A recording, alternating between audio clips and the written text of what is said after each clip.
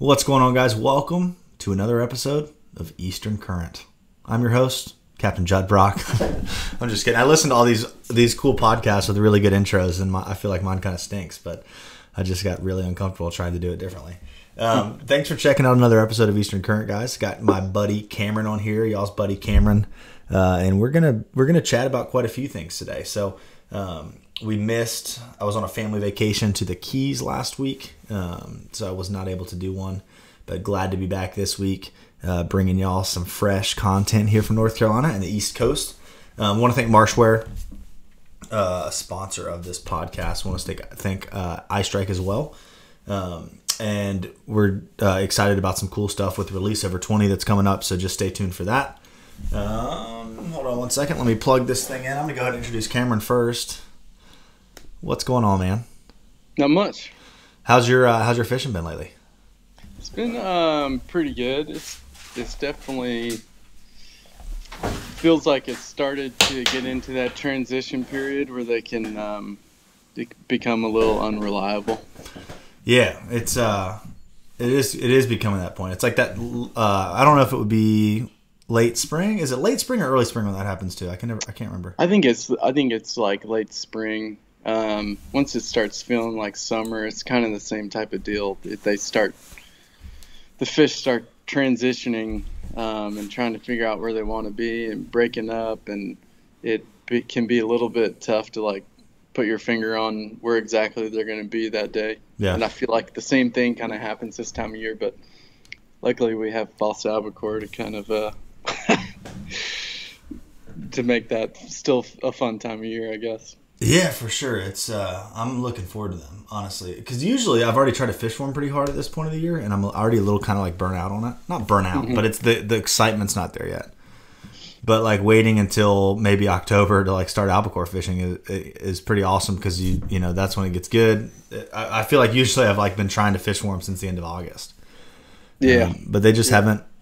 I don't know. Maybe maybe some other people that are listening might know, but I haven't been out in the ocean enough to really look for them. Um, I've heard some stories of. I bumped into a couple groups and heard of people bumping into a few groups, but um, that's an exciting time of year. We're getting into we're in like a kind of a lull period, but getting into like a really exciting time of year. What do you think about all this uh, weather we just had though? Up and down the East Coast. Yeah, that was a lot of rain. Um, I don't know. I feel like that sometimes that rain, when it's that much, I mean, I had like a five gallon bucket outside, and it was completely full after like three days or so of rain. So I'm just curious, like how many inches we actually got. But um, I don't know. I think I think it can definitely put uh, not pressure on the fish, but it can make them move for at least a few days and and then sometimes they'll come back to the same spots. But uh, I think it makes it a little tough. One, because the water's dirtier, uh, and two, because generally after those rains it cools down a little bit. Um, so I don't I, I don't know. It's always kind of interesting to see like how it affects them and and where they go and if they come back to the same spot after you know five days or so after those big rains. Um, so I wouldn't I wouldn't probably fish like in the river quite yet from my perspective just because I bet it's you've told me this too before. I feel like it takes a few days after a big rain for all that washout to kind of come into the river basin Yeah, area. Um, not to say it's not good. I just think it would be if you're sight fishing it would be really dirty and kind of tough. For sure. It's uh yeah, I had a trip this afternoon there. Actually, I had a trip this morning and this afternoon down there, and we just decided to reschedule both of them because it was my my afternoon trip was driving in from from Pawleys Island and um, which is down kind of near South Murrells Inlet, so pretty far down into South Carolina, and I just felt just with the unknown of of what was going to play out, I felt bad having them drive, and the guy was retired and could come anytime, so. Um, we were we decided to, to wait. I'm gonna send him some other dates and hopefully get out there. But um, yeah, it's you know it seems like, and I guess it's because it's hurricane season. We always get some storm or two with like a lot of rain that pushes through, and we deal with this every late summer, early fall. Um, but man, it feels good outside. Like it's got me really wanting to fish. I know And then I'm like, thinking about the water quality too. yeah, yeah. Every time it starts to cool off, I definitely start getting uh, the speckled trout fever. Me too. I also want to start killing things, which I've been going at lately too. So, um, been a little distracted from my fishing quarries lately, but um, excited for. I'm really excited for trout and albacore this year, and albacore mm-hmm. more so than than years past. I'm just excited to get in the ocean and poke around a little bit. Um, so we'll we'll see. I'm sure after this blow, I mean the temperature out, out there. I think the Alan. I was talking to Alan Kane last night. He's actually heading to Montana for a couple days, but he said that the ocean temperature had dropped five degrees, and so that means the inshore water should have dropped at least seven or eight degrees, if not a little more, yeah. um, over the past two days. But especially the rain will bring the temperature down, as well mm-hmm. as you know this this cooler air that we've got. And we're supposed to have cooler temperatures through the beginning of next week, right now. So I'd be very surprised if, and I don't think we're gonna. We might see a little trickle of migratory trout. Mm-hmm. I don't think that's really going to start yet, but we're going to see the local trout starting to feed into the day more instead better, of just being yeah. such a morning thing. So that gets me excited because man, that's one thing you can go do with clients like when the trout are biting good and you can have two or three clients throwing artificials at the same time. So like mm-hmm. I get to kind of retire the mullet game and you know for now just fly fishing sure. for redfish and, and, trout fishing if I've got a larger crew. Um, but what would you say you're I've talked about a little bit is like you're most excited about for this time of year. What's your what, what gets you the most fired up? Is it the trout? Um, yeah, I mean, I think overall it's definitely the trout, just because there's so much fun to catch, in my opinion, and it's a really good change of pace, I'd say, from like fishing for redfish for the majority of the time, um, from you know mid spring all the way through summer. I feel like is really kind of my focus is redfish uh, and then the you know the summer trout when they're biting, which was kind of like early summer, and then it kind of shut off for a while when it got hot. Um, and it's starting to pick up back up a little bit, as you were saying with like the local trout. Um, but I would say, yeah, for sure, uh, speckled trout is uh, what I'm most excited for.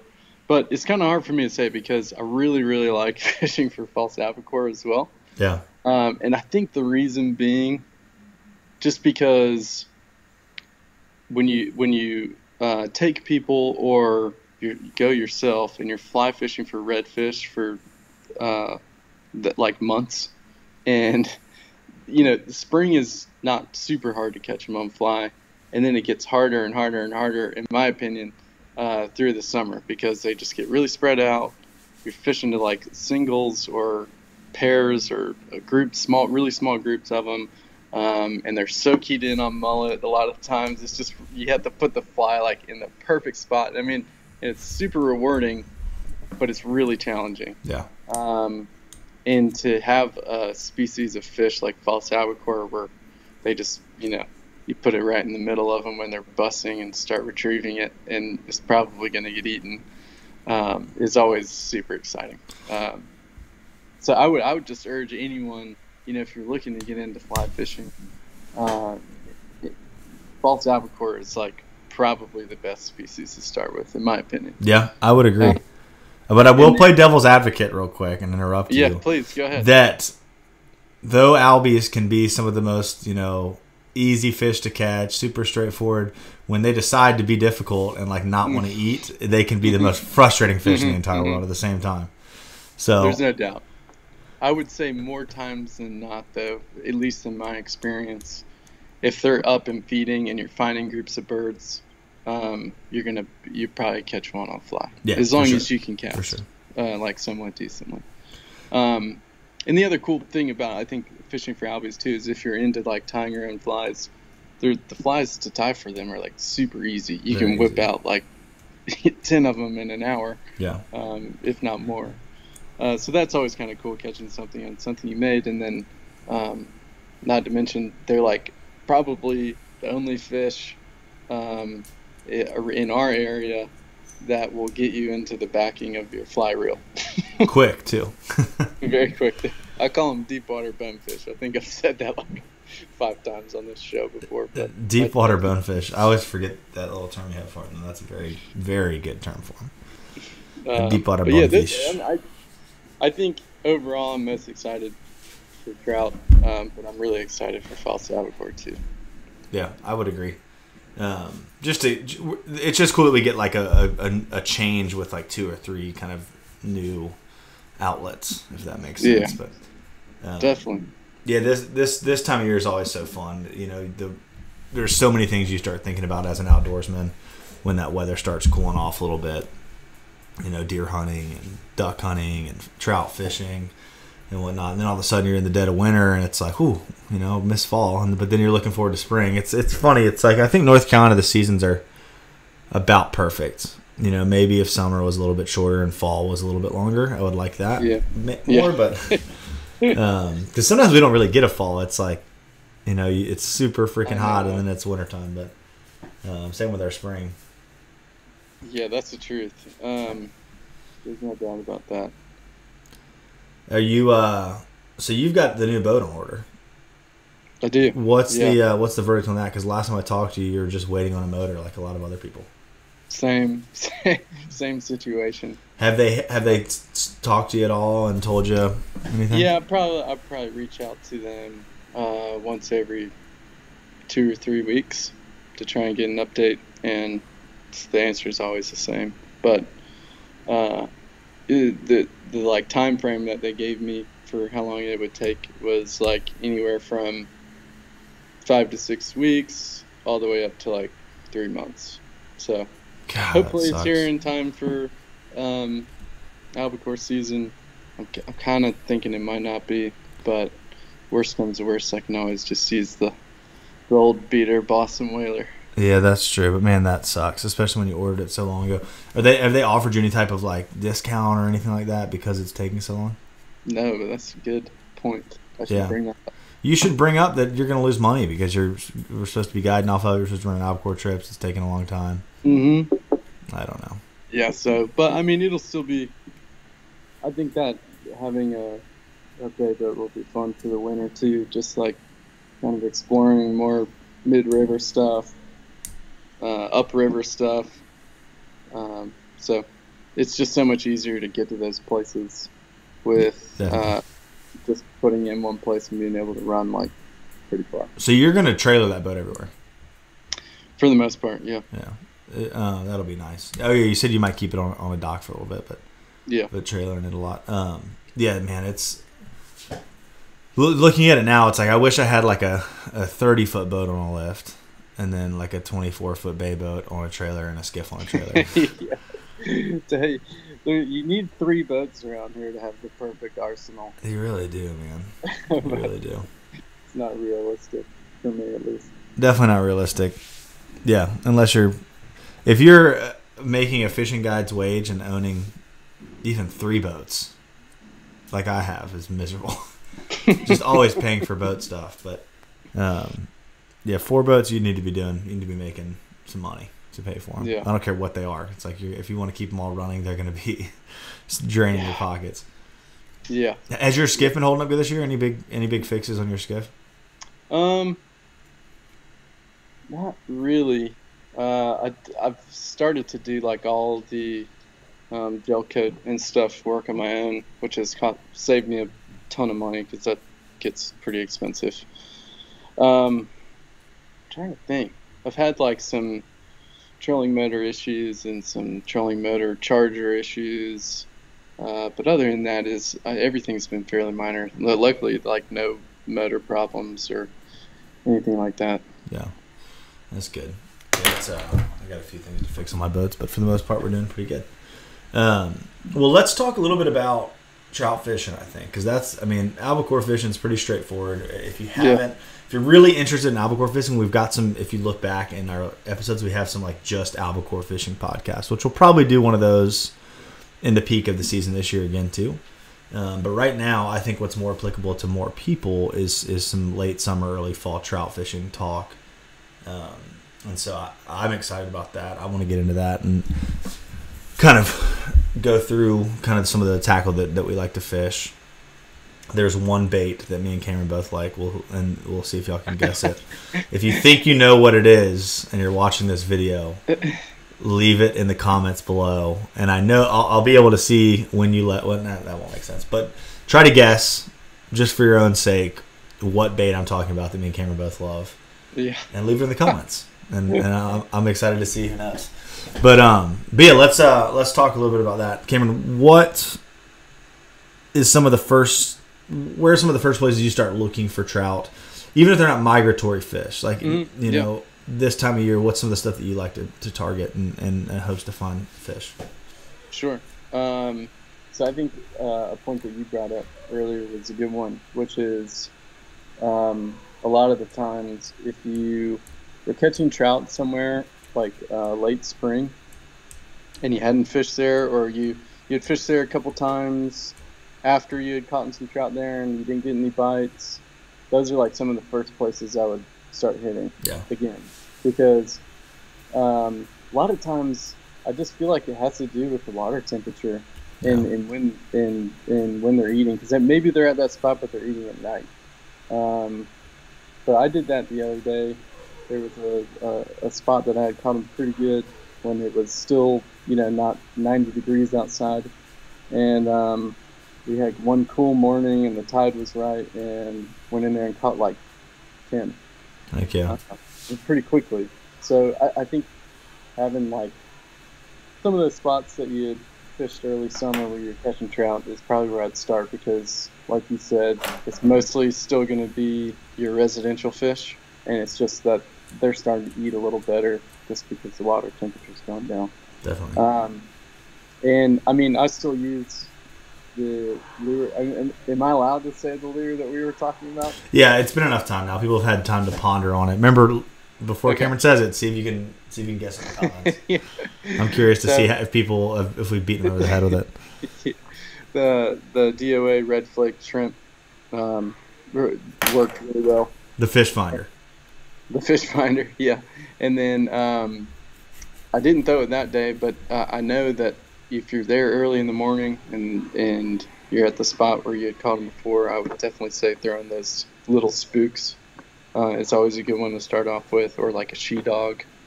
Um, uh, just top waters in general. I feel like might be a good way to get. Speaking of little spooks, just while you're thinking about it, keep talking. I'm just gonna grab this real quick.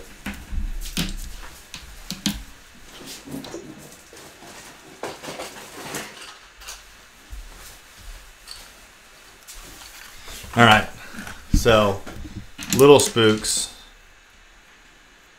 and if you're listening, I'm sorry that you can't see these, but my brother sent me some of these. He's a big bass fisherman, fishes a bunch of tournaments and whatnot.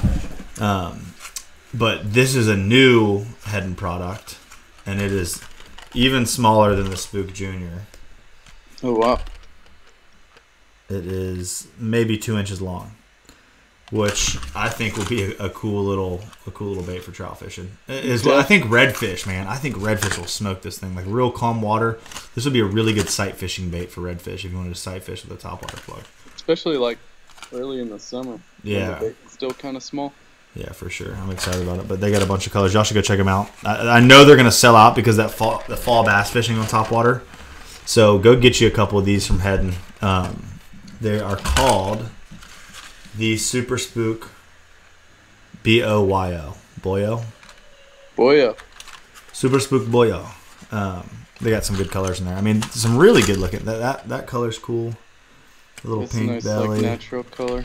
then this, I feel like this would be what you would gravitate towards, Cameron. A lot of pink in there. yeah, Um, definitely. I love pink for trout for some reason. Yeah, and this is a vibrant pink too. Like this, I haven't really seen this color in a definitely not in another Heddon plug. I would have expected them to just use colors they already had going, but Yeah, um, was was a cool one. Um, anything else about kind of where you where you look for fish? For for early um early trout, uh, I think I kind of got what I was saying, but I mean, I think as far as finding new places, I would just look for the same stuff that you're kind of looking for in fall. Yeah, Um, you know, eddies, water moving, islands around inlets, islands around inlets. Yeah, you know, river um, mouths good and, point. and whatnot. There's uh, I I really liked what you said too about you know go back to where you were last catching them or late fall or late spring, early summer. You know where you know and, and you can catch trout in North Carolina and Virginia. I mean, especially like the guys in Virginia and Maryland that catch speckled trout, they're catching them really well all summer. Um, but you know, North Carolina south, it seems to get a little slower in some areas. You know, there's some areas where you still catch bunch, but um, in those warmer days, and then it picks back up. They're just a funny fish. Like you talk to people in different areas, like people like, "Oh yeah, the trout fishing's insane all summer in Florida," and then you same thing in Virginia, but North Carolina, the summer trout fishing can be kind of tough. But you get up on the Pamlico Sound, guys still catch trout really good all Mhm. summer. Um, but another big, big factor of my trout fishing this time of year is like we've got this mullet run going on, and these massive wads of mullet. Like if you can find little bays or pockets or sloughs where these mullet are getting like really stacked up and fishing around there with the top water and look look for nervous bait look for where bait's getting choked up or pushed around a point or sucked into a pocket those trout will definitely hang out there same with the redfish same with the flounder uh, a lot of times when you see like a bunch of mullet getting blown up you can get so sucked into to wanting to throw a top water to them but if you throw a jig under them like a lot of times you'll catch a lot of flounder sitting underneath those big schools of bait What about um? Because you've done this a lot more than I have. When's the time of year that uh, you can catch them pretty good in the surf? Is it during the mullet run?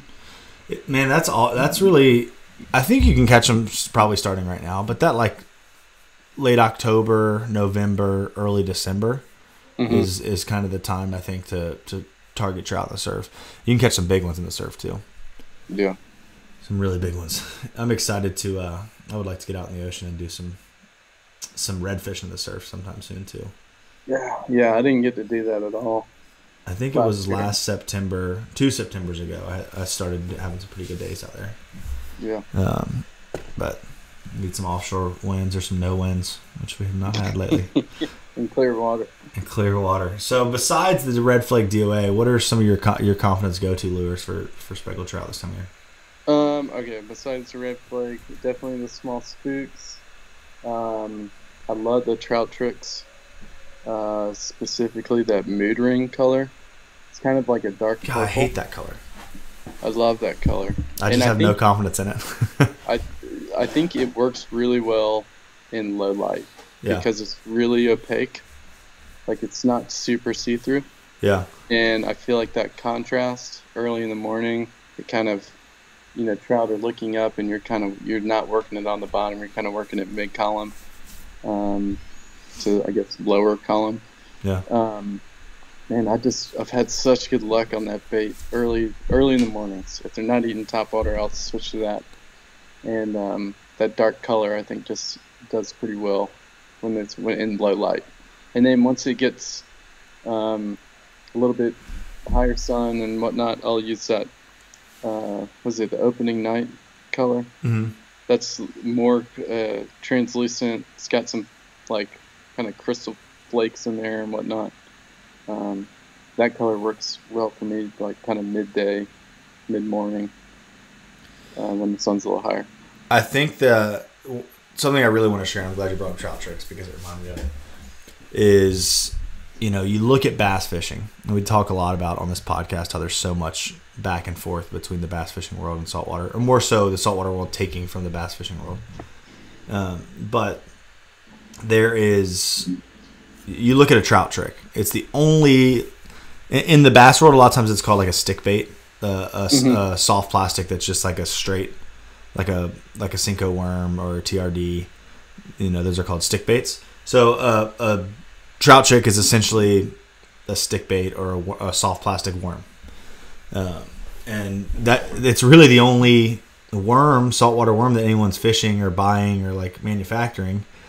But I've talked to a lot of people that do really, really well on a lot of other different types of freshwater worms, like Senkos and you know Mhm. Senko knockoffs, a lot of the other stick baits.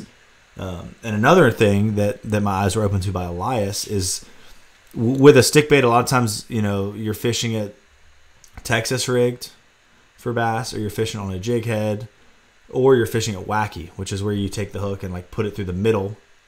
So the hook's like here's the worm, and the hook's going through like right here, and then it just kind of wiggles. And you can fish it with some weight on it like that, like you could fish it on a jig head like that, or you could fish it weightless. But I think well, I know that Elias has been doing really well fishing soft plastics like that for trout. Um, but that's something I really want to try more this year. Um, Yeah. When that bait falls, when it's rigged wacky, it just does this little like wobble. So like both of the sides kind of wobble down, and Interesting. Bass love it. And I've, I've caught a couple trout since he's told me about that fishing fishing a, tr- a trout trick like that. But I'm gonna try to keep a lot more you know stick style soft plastic baits in my boat this year. I think it's gonna be, especially if you're in an area with low current, like all up on the Pamlico Sound. Mhm. If you really know you're in the fish and you're having a hard time getting them to bite, or you're not, try fishing a stick bait rigged wacky. Throw it out there, let it fall. Uh, you can also rig or fish a, fish a wacky rigged stick bait, you know, in current. But if it's at ripping current, you know, I think it's going to be a harder bait to fish. But if it's slower current or you're working hard for your bites, it's a tactic that I think definitely needs to be tapped into in the trout fishing world. Um, are there any other trout trick colors that you fish, or when you're throwing a trout trick, are you pretty much only going with that that mood ring? Pretty much only. I, I keep like. I have like one of those binders. You know, Yeah. I think you, you have the same ones. And I mean, it, it is literally. You can probably put like what 15 packs in there Yeah. or something like that, and it's like seven opening nights and eight mood rings. So so confident in them. that that and honestly, man, that's what it takes is just the confidence in it. There's colors that are going to work better than others, but at the end of the day, having confidence and putting that bait where it needs to be is going to be the the telltale. Um, I want to pick your brain a little bit about how you like to. So, are you storing in those binders, and you're using the Plano soft plastic binders, right? Yep. Um, that's what I'm using as well. I really, really like them. Um, are you doing a binder for trout tricks, and then a binder for paddle tails, and a binder for TRD? Like, is that kind of how you're breaking it down? Yeah, I for a while I only had one, and I would just anything that I was going to use that day, I would just fill it up with that stuff. Yeah. Um, it got to the point where like, especially if you're on fish and like someone's, you know, needs to to replace their soft plastic. I'm like rifling through this thing trying to find the right one, and you know, throughout the day they all just kind of get shoved in different sleeves, and I don't know where they are. Um, so now I have like a binder for everything. I have a paddle tail binder, um, a Ned rig binder, um, or the soft I soft plastics I use on Ned rigs, and like the rage tails and whatnot, and then a um, jerk shad binder and a trout tricks. Yeah, man. It not seventy five percent of the time it doesn't matter if you can get to it quickly and put it on. Yeah, But twenty five percent of the time it does, and the twenty five percent of the time that it does, it that's when it really pays off to be organized. yeah, yeah. No, I think it's. Um, I think being super organized in like your tackle preparation can um, turn a good day into a great day. yeah, I would agree. Not all the time, but sometimes. And it feels good when you're on the water and you're organized and your boat's set up and you like sit down and you open your hatch and you reach right to the binder that you need and open it to page three and pull your mood ring trout. You know what I mean? Like it feels like Yeah. you know what you're doing.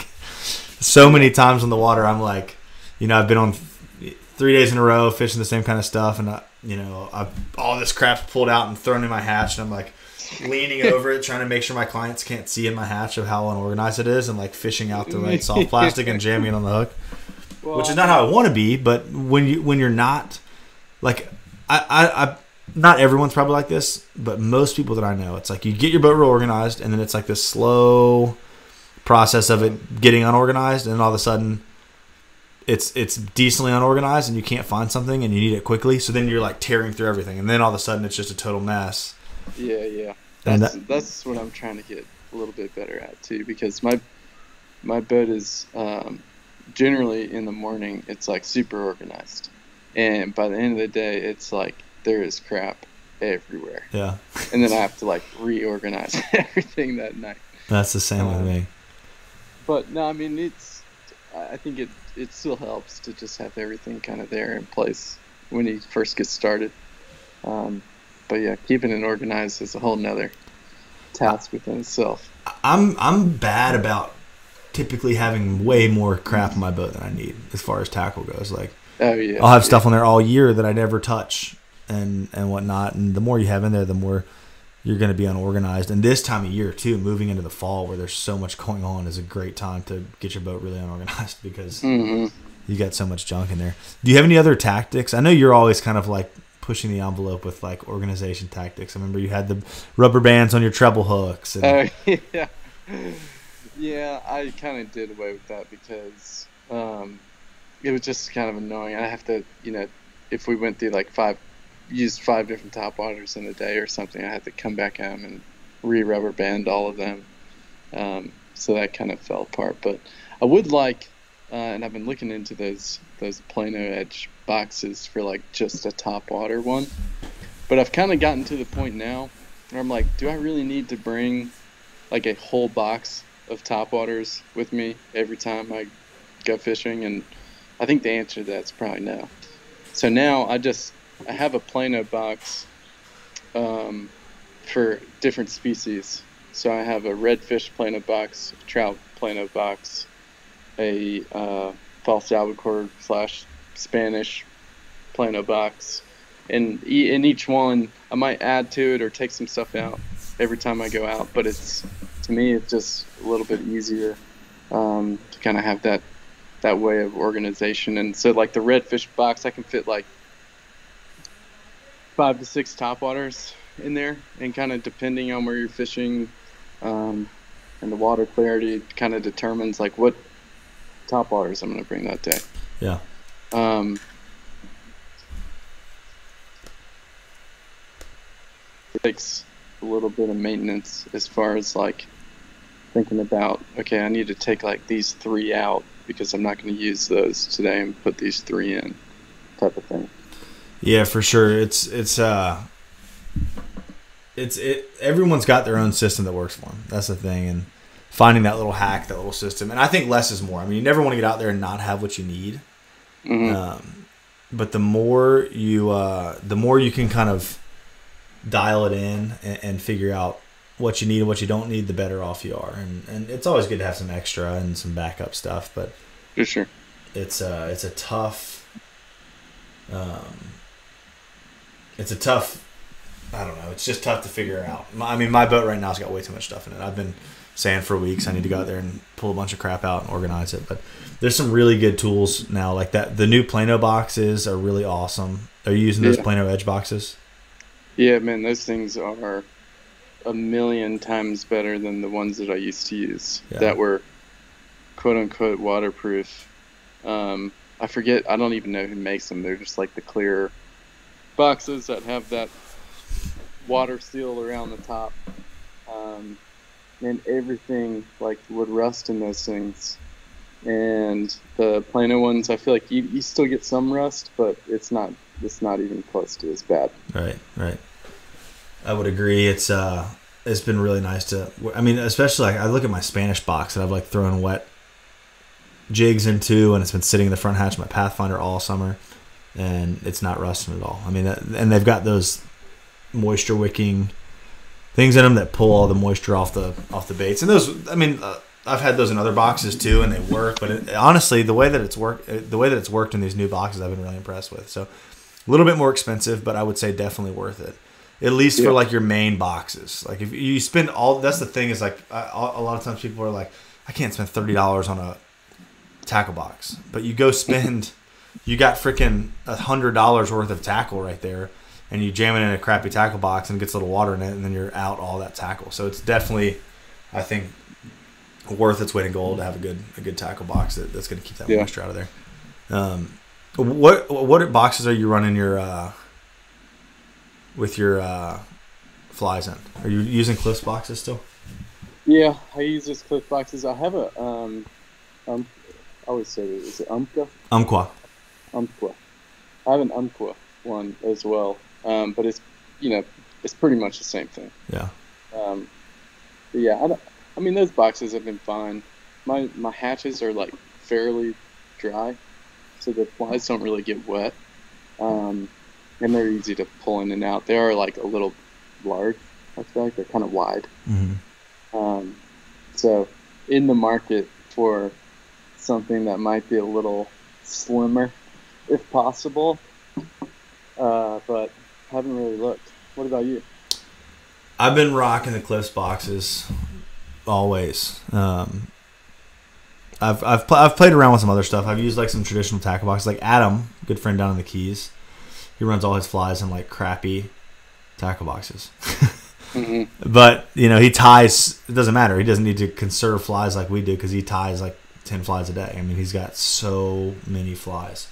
He could probably fill up five trash bags with flies, um, and big trash bags like the big black trash bags. So he's got plenty, uh, plenty going on. But yeah, I like the Cliffs boxes. the The problem is, is like with a fly, it holds so much more moisture than a a bait like a hard bait does or whatnot with the, the fibers and the hairs and the feathers and whatnot.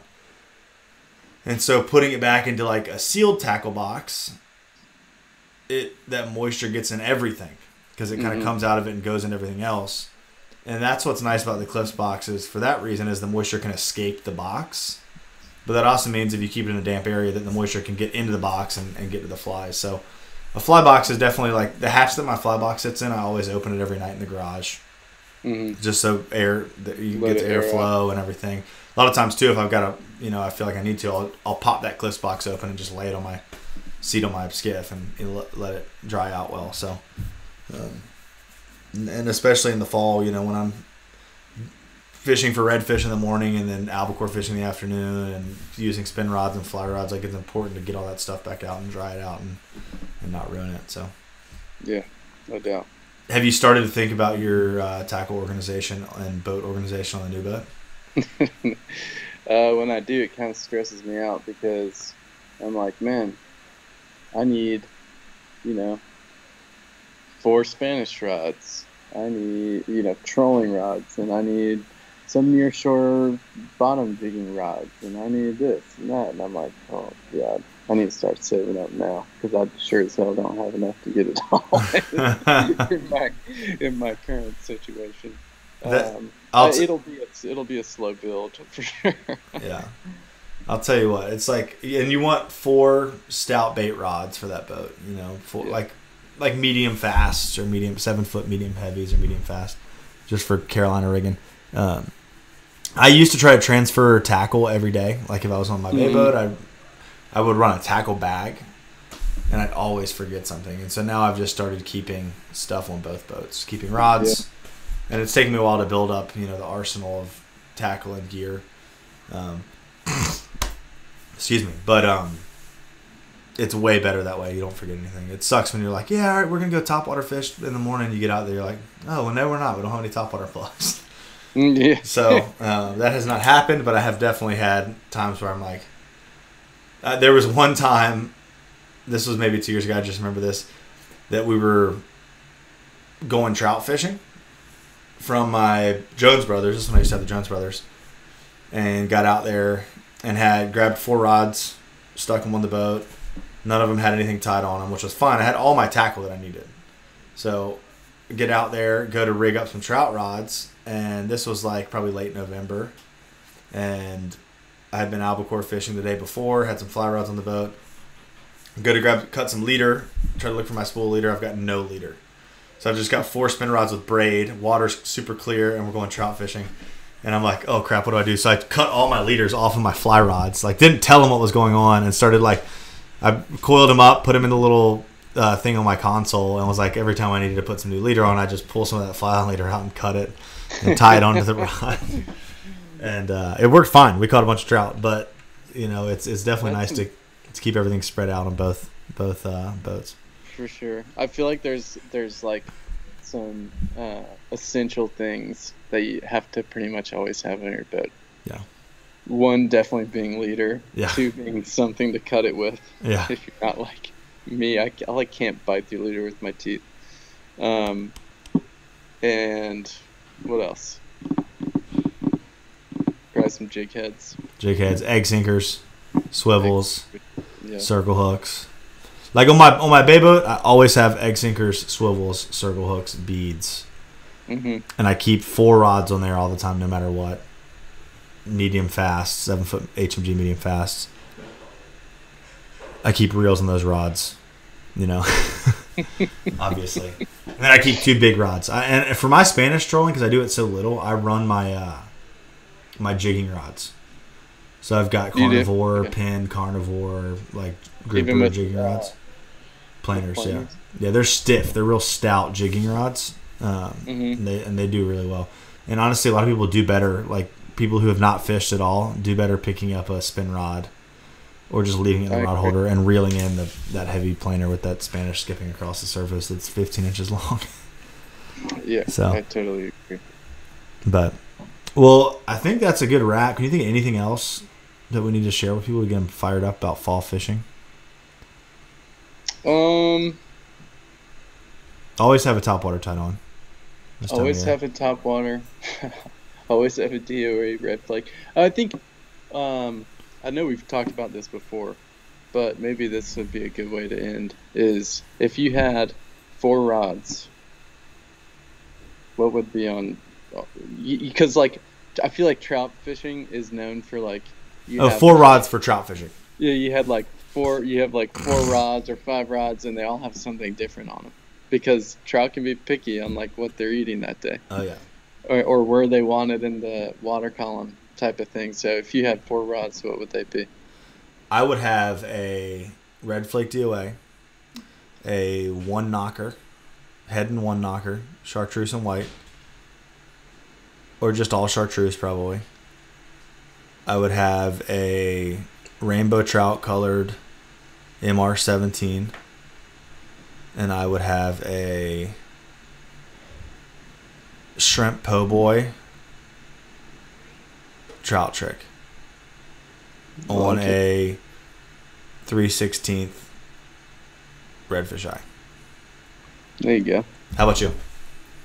Um, Red Flake, Spook Junior, um, probably in pink, and a popping cork with a Vudu shrimp, and It's a good one. a trout trick nude ring on a quarter ounce jig head, ice strike jig head. I think we would catch some trout. We got some good baits in there. We'd catch something. We'd Might catch something. oh, dude, I cannot wait for the lizard fish to push in thick. It's gonna be good. That's gonna be great. Well, cool. Well, guys, thanks for checking out another episode. We'll see you next week. Hopefully, we'll be getting this guest on. We've been trying for a little while, so um, stay tuned, and we'll see you soon. Later.